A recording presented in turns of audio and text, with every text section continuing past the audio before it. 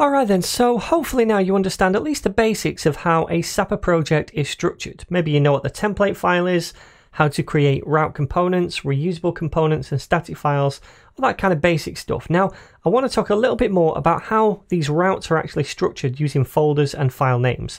So we know that if we just go to forward slash the root level of the domain, we get the home page, which is the index component over there. And we know if we go to forward slash about, we get the about component.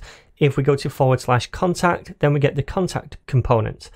But what if we go to forward slash blog? Well, if that's the case, then we're seeing the index component inside this blog folder. So how is that working? Well, when a request comes in, Sapper is going to look at the URL to determine what component to render. If the URL is the base URL, just forward slash over here like that, then it's going to look for an index component inside the root level of the routes folder. And it finds that right there and it shows that. If it sees forward slash about, then it's going to obviously load up the about component. If it sees forward slash XYZ, it's going to look for the XYZ component. Now, when we go to forward slash blog, what happens is it's going to look for a blog component over here. Now, it doesn't exist, but it also looks for a blog folder then. And if that exists, then inside that folder, it will look for an index component.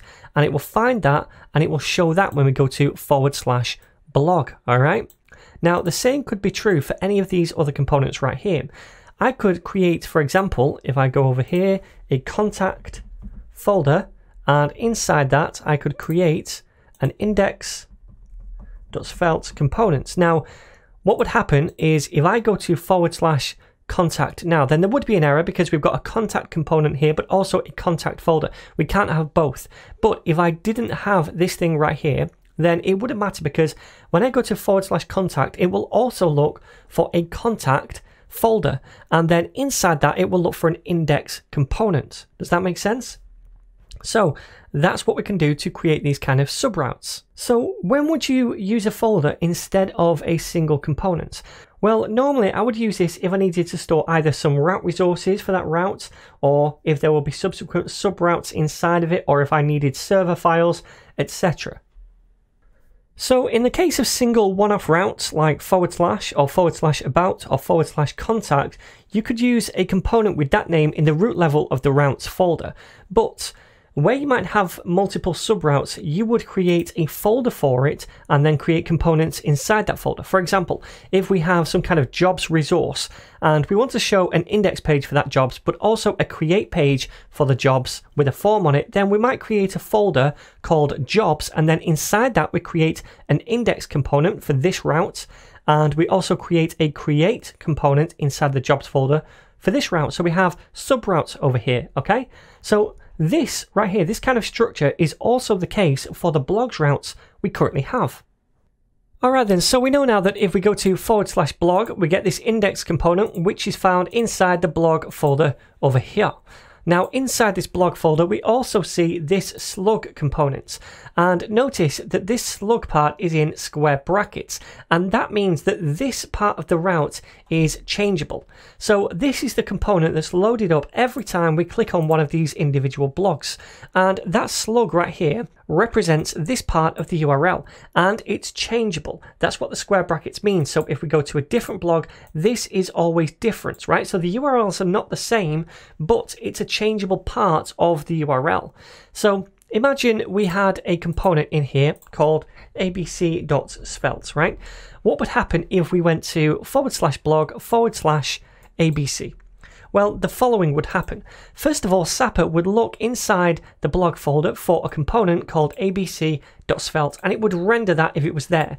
If, however, it's not there, then it's going to fall back to this thing right here where it's saying, okay, well, this can be a changeable part of the route anyway, so I'll load up this component. And then the slug right here is represented by this part of the URL, the ABC section.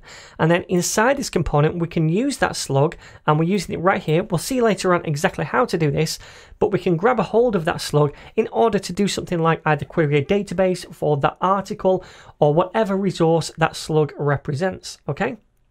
So in our project, we're going to be using jobs and not blocks. So what I'm going to do is delete this and don't worry, we will come back to all of this slug kind of stuff and changeable route parameters later on. But for now, what I want to do is create a new folder and I'm going to call this jobs.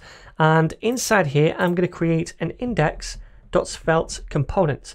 So now if we go to just forward slash jobs, like so, then it's going to look for this index component inside the jobs folder.